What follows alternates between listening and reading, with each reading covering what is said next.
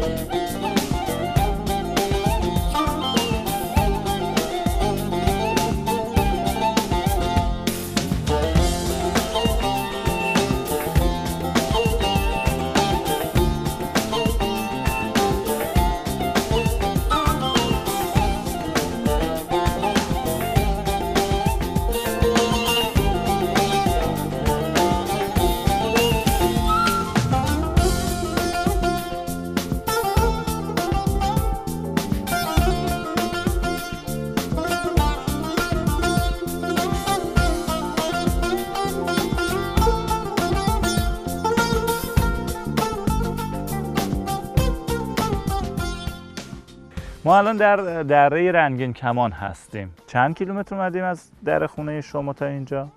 حدودا ده کیلومتر. ده کیلومتری اومدیم. دیدم از کنار ساحل که رد می شدیم صخره های خیلی زیبا بود و توضیحات خیلی جالبی حسن آقا داشت به من می‌داد. مثلا صخره هایی رو دیدیم توی کنار ساحل که به صخره مرغان دریایی معروف بله بود. که پرنده اونجا رو استراحت می‌کنن. بعد از پرواز طولانی میان اونجا, اونجا استراحت تکه سنگ و سفیدی و ما پرنده ها استراحت اونجا معروف مرغ صخره مرغ دریایی. صخره مرغ دریایی. بعد همطور بچه های خود جزیره کنار ساحل داشتن فوتبال بازی می‌کردن فضای بسیار خوبی. اما دره رنگین کمان. چرا به اینجا میگین دره رنگین کمان؟ بخاطر انواع رنگ های کل دنیا نگاه بکنه هر رنگ فاصله داره. اما جزیره هرمز نکته کنار همه رنگ کنار هم مشاهده می‌کنه میگن خداوند رفته دنیا نقاشی کشیده هر جا یعنی رنگ اضافی کجا ریخته شده؟ اینجا جزیره هرمز ریخته شده. ریخته شده. به خاطر کوه رنگ و رنگی. زمین شناسا آره رنگ. قشنگی اینجا می‌بینیم. رنگ آبی فیروزه‌ای هستش قرمز زرد صورتی. خیلی جالبه رنگ های خیلی مختلفی. اما بستگی آفتاب و بارندگی هم داره. آها یعنی بارندگی بشه رنگ ها رنگ کنم واضح شفاف. شفافتر بله، میشه بله. قشنگتر هستش. بعد خاک اینجا برداشت میشه یا اینکه خود بومیان اینجا میان توی شیش های رنگی درست می‌کنن خاکا رو. خاک برداشت فکر یه قسمت رو برداشت میشه معدن داره خاک سو اما خاک و رنگی رنگی بومیان استفاده می‌کنه اما متاسفانه گردشگر جای دیگر میان از این سنگا می‌برن خاکا می‌برن. این هیچ سودی به هرمز ضرر به آینده. یعنی آسیبی که این جزیره زده به خاطر نظارت نبودن به خاطر این سنگا کانیان میلیاردها سال تشکیل میشه. یه دفعه گردشگر یه دونه سنگ از اینجا جابجا بشه آسیب خود محیط میشه. مثلا این سنگ زیبایی اینجا فقط زیبایی. اگه مال خود باشه اون زیبایی از دست نیست.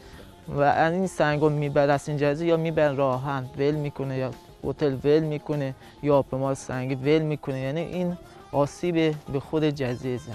درسته. آسیب- در مقابل ما هم یک کوه بسیار قشنگ هستش. خیلی زیبا با رنگ های فوقالعاده دیدنی و همطور پوشش گیاهی که میشه پای کوه دید و بهش اما اینجا شرکت. اون قسمت اون طرف نگاه کنین این صورت. آدم این مجسمه این درسته. آدمه که روی اون طرف می‌کنه آره درسته خیلی از کوه ها شبیه هستن به حیوانات یا انسان و مجسمه های خاصی که طبیعی درست شدن آقای دریاپیما نکته خوبی رو بهش اشاره کردم اونه که کسی که به عنوان گردشگر به یک فضایی میاد باید خیلی مراقب باشه. ما توی قارها وقتی میریم به خصوص قارهای آهکی قندیل های فوق العاده زیبایی می‌بینیم. این قندیل ها موقعی زیبا هستن که در پوشش خود قار باشن نه اینکه اون رو بردارن و با خودشون ببرن و به اون محیط ضرر بزنن.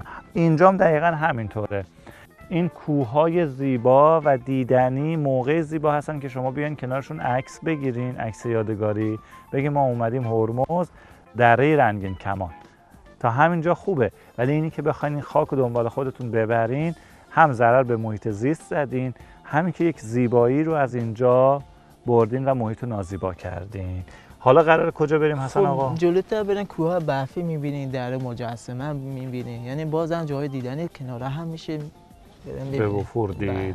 نزدیک به غروب آفتابه باید سریع بریم بله. تا به اون نکاتی که آقای دریاپیما بهش اشاره کردن بپردازیم برسیم و اون فضاها رو بهتون معرفی کنیم. همسفر ما باشیم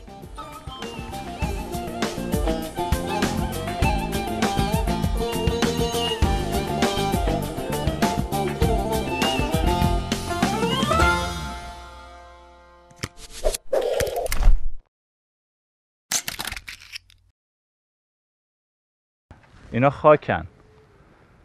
خاکهایی هستن که توی بطری کردن و به این زیبایی الان داریم می‌بینیم. سلام خانم.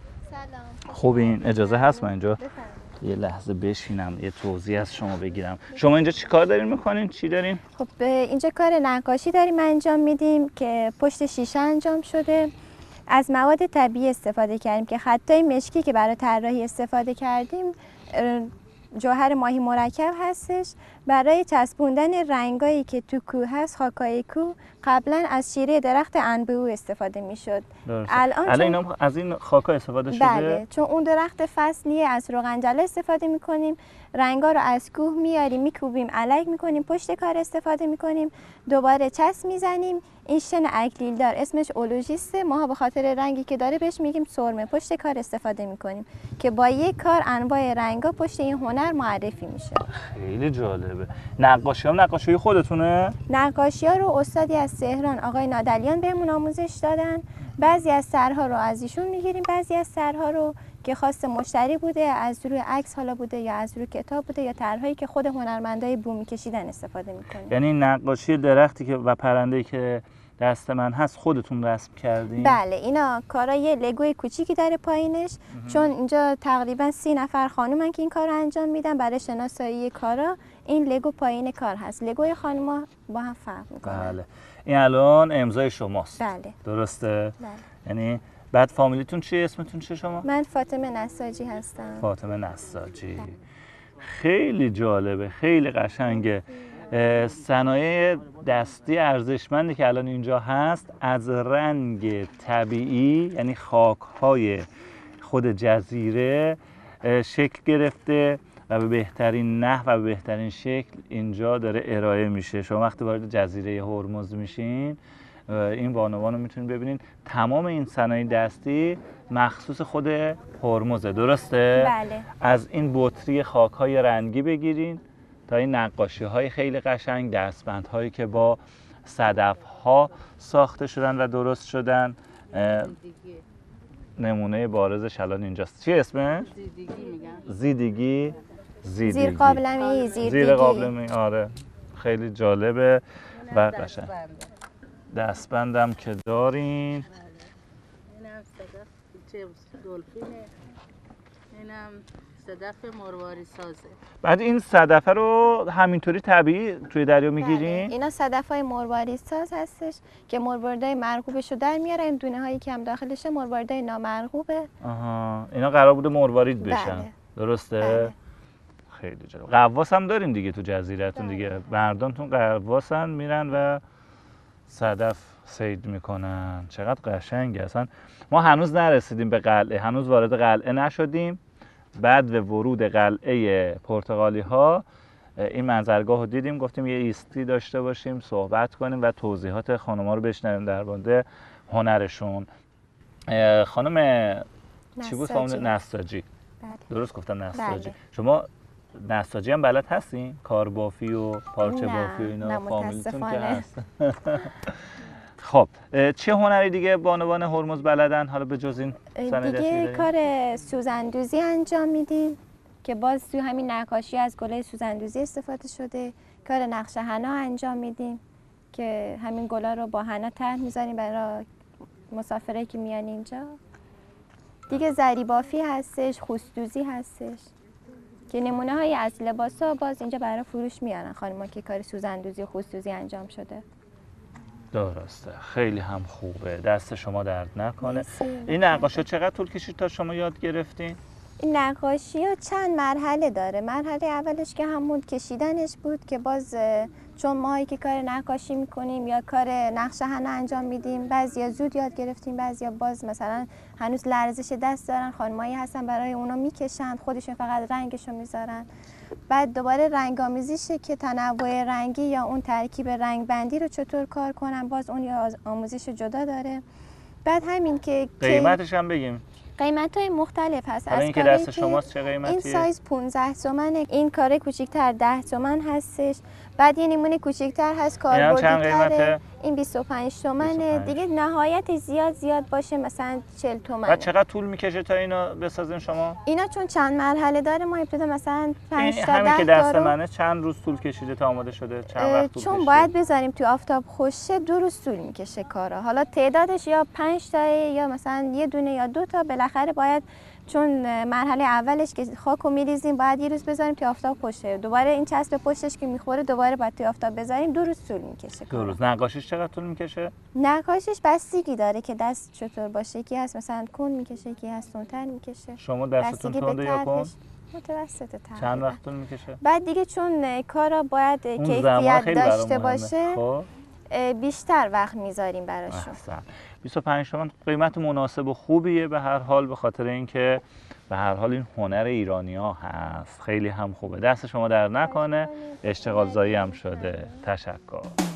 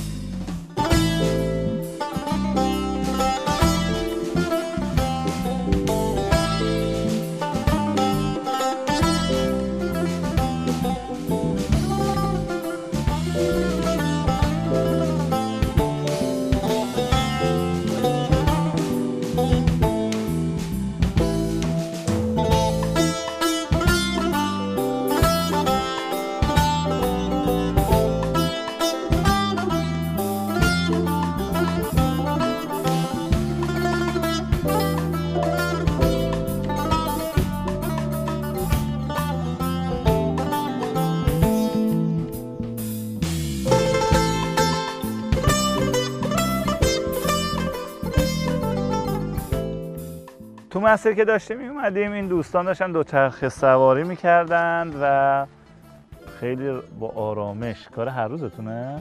والا البته من اینجا مهمونم. آقا حامد اینجاست که آها حامد آقا شما اینجا وارد اهل همراه هرمزین. نه، نه. برده کار هر روز ایشونه. درست. آره، من بچه اصفهانم ولی اومدیم رکاب بزنیم. آها. از اصفهان اومدین بندر عباس اومدین اینجا. آره. الان با دوچرخ دوچرخه ها از اصفهان چجوری آوردین؟ اینو با از اصفهان آوردم. اینو همینجا گرفت آه همینجا گرفت. خیلی هم خوبه. چه تأثیری داره دوچرخه سواری کلا؟ والا بازم تاثیرات دوچرخه سواری بعد از حامد بپرسیم چون من کوله گردی می‌کنم. با دوچرخه خیلی آشنایی ندارم ولی شما مشوق ایشون آره، آره، بودی امروز به من گفت که چیکار کنیم؟ گفتم بریم غروب تنگه تندیسا. بعد گفتم خوب رکابم بزنیم که اه، سفره یه رکابی برای زده باشیم غروبه بچسبه ماشینی نره. گفت بریم. دیگه امروز سوار شدیم اومدیم. چقدر با هرمز آشنایی؟ تو این یک ماه دیگه کاملا آشنا یعنی یک ماه اومدی آره، هرمز یک ماه اینجا. آها یک ماه اینجایی. آره. برای کار؟ هم گردش. کار هم پیاده روی هم رکاب هم بالاخره. خیلی هم خوبه. ما الان توی دره تندیس ها یا دره مجسمه هستیم. شکل این مج... در واقع صخره هایی که اینجا هست همه شبیه به مجسمه هست. ما تندیس پرندگان رو داریم اینجا می‌بینیم. عقاب رو من از دور نگاه می‌کردم تندیسش رو. و همینطور زیبایی های خاص خودش. چندمین بار به این دره میای؟ حدود 24 25 هر روز یه غروب هر روز میاد. میرین تنگ غروب گفتین؟ مجسمه ها یا تنگ تندیس؟ تن... نه می‌دونم الان گفته غروب رو می‌خوام آره ببینم. غروب اینجا زیباست فوق العاده است. پیشنهاد میدم غروب رو ببینید تا نرفته. آره اگه برسیم چون تو رو پرتگاهه. و غروب شما تو ارتفاع می‌بینید. درسته. آقا خسته نباشی. شاد باشی مرسی. از رکاب زدن لذت و دارم، ولی آره. مشخص این کار نیست نفس نفس افتادی. آره دقیقا همینطوره. حامد امروز من ازش خواستم که دیگه یادگاری به من بده. گفت امروز یادگاری تو می‌بینیم اینجا غروب اینجا رو با هم ببینیم. خیلی برای. همین هم زودتر از شما خداحافظی بکنیم که بریم به غروب بفرمایید غروب رو برین ببینین. حتما سعی می‌کنیم دنبال شما. سریع بیایم. اینکه قربون شما ممنون تندیس هایی که میبین بیشتر جلو سیمرغ و اژدها اون گاوه شیره اونا اصلا فقط یه عقاب شما اینجا دیدین. عمده 80 90 درصد تندیس جلوتر چقدر پیاده روی داریم؟ بیان یه سه چهار دقیقه تنگه رو رد کنین شکاف رو رد کنین شکلا اونجاست. حدود میاد 80 میاد. 90 درصد. آقا دست در نکنه خسته نباشی خیلی ممنون. برین به غروب برسین. زمانمون خیلی محدود بود به سرعت از جاذبه های دیدنی هرمز داریم دیدن می‌کنیم. برای همین ازتون دعوت می‌کنم به تصاویر اینجا توجه کنیم. برسیم به غروب آفتاب در دره مجسمه ها حسن آقا بریم.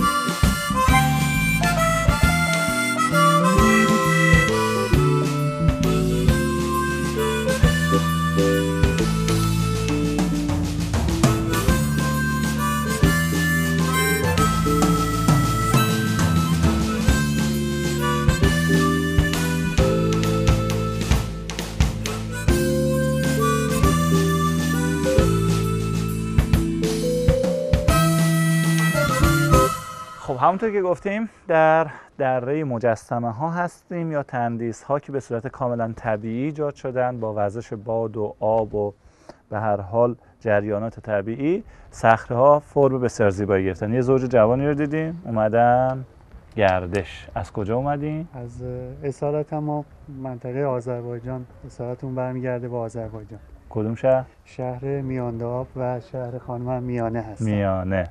شما میانه شما میانده هر دومون آذری زبان هستیم خیلی هم خوب. چرا؟ ساکن اصفهانی. آها ساکن اصفهانه هرمز رو چرا انتخاب کردی؟ بالا اولش که ما فقط یه تعریف کلی از هرمز شنیده بودیم و واقعا چیزی که اینجا دیدیم فرای اون تعریفی بود که شنیده بودیم ولی جذبه ها شد در حقیقت از گوشه کنار که مثلا همین دره مجسمه هایی که داره واقعا جاذبه توریستی ایجاد کرده. یا همین معدن خاک سرخش که واقعا زیبا بود وقتی جایی که کوهش می‌رسی به دریا. همین را رو به صورت توصیفی شنیده بودیم و خیلی مشتاق بودیم که بیایم اینجا و از نزدیک ببینیم و الان که من اومدم امروز دیدم واقعا خوشحالم و حتما خواهم برگشت دوباره به این مکان. درسته. شنیدن که باید مانند دیدن خب خانم شما بفرمایید. دفعه اول اومدین اینجا؟ بله. بندر عباس چی؟ بندر عباس هم در حقیقت ما اومدیم قشم. یعنی الان ساکن چند روزه اومدیم قشم. ولی امروز هم قرار بود با همون تور و اینا بیایم هرمز. ولی چون دیگه هوا طوفانی بود و اسکله بسته بود خیلی هم ناراحت شدیم که دیگه پس امروز رو چیکار کنیم؟ دیگه ایشون پیشنهاد دادن که خب بریم بندر عباس بندر عباس که بازه. از اونجا بیایم هرمز. خودمون اومدیم. یعنی مسیر رفتین قشم بندر عباس بله، از بعد اونجا از اومدیم بندر عباس هرمز. اومدین چون علاقه هرمز. که داشتیم هرمز رو حتما ببینیم با توصیفی که شنیده بودیم. دیگه این راهمون رو طولانی کردیم که حتما بیایم. اهل سفر هستین شما؟ خیلی. کجای ایران رو رفتین؟ قبل از ازدواج که خب پدر منم خیلی اهل سفرن. تقریبا همه جای ایران رو شاید گشتیم. غیر از یزد و کرمان. جنوب شمال مشهد همدان کرمانشاه اصفهان شیراز. بعد از ازدواجم بله. کیش شمال بعد قشمم که اومدیم و شیراز. خب یزد و کرمان هم بریم دیگه ایران گردیم. یزد و کار کرمان. خب، یزد من رفتم. خب وقتی ازدواج کردین چقدر اهل سفر بودیشون؟ خیلی ایشون هم خیلی.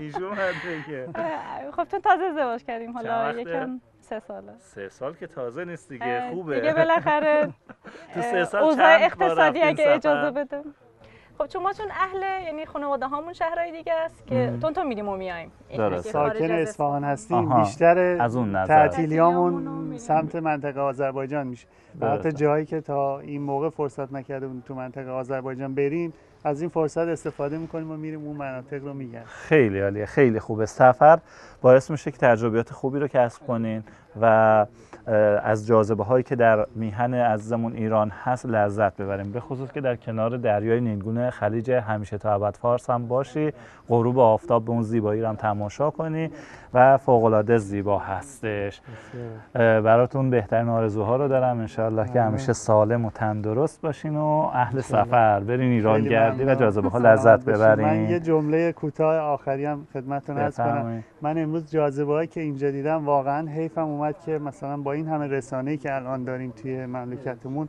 حیفه که یه م، ویدیوی خوبی از اینجا نتونیم به هموطنامون نشون بدیم. به جای که مثلا برن کشورهای خارجی جای دیگه بیان تو همین وطن خودمون و همین جزیره به این قشنگی رو واقعا ببینن. حیفه. که یه ایرانی این جزیره رو ندیده باشه و بخواد جای دیگر رو بره. بله. شما چی شما صحبت آخری منم؟ همین. یعنی واقعا حیفه انشالله که عکسای خیلی خوبی گرفتین. حتما اینا رو نمی‌دونم اینترنت حالا شبکه های اجتماعی حتما خیلی خیلی تبلیغ کنین. واقعا مردم اینجا نیاز دارن که مهمونا بیان و مردم بیشتر از اون شاید خود هموطنامون. هیچ کسی یعنی ما اصلا نشنیده بودیم. اومدیم قشم شنیدیم که جزیره زیبایی به اسم هرمز هست. حتی جالب من فقط تنگه هرمز رو شنیدم. اصلا نمی‌دونستم جزیره به اسم هرمز هست.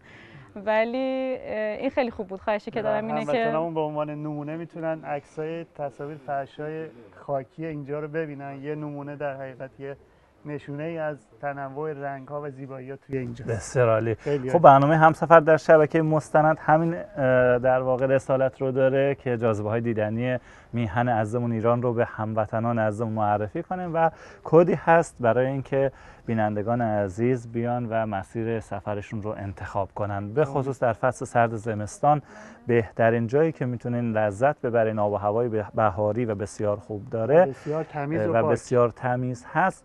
جنوب کشور شهرستان بندر عباس جزیره هرمز و همینطور جزیره قشم و فضاهای بسیار زیبایی که ما در برنامه همسفر داریم تقدیم نگاه مهربان شما عزیزان می‌کنیم. همسفر ما باشید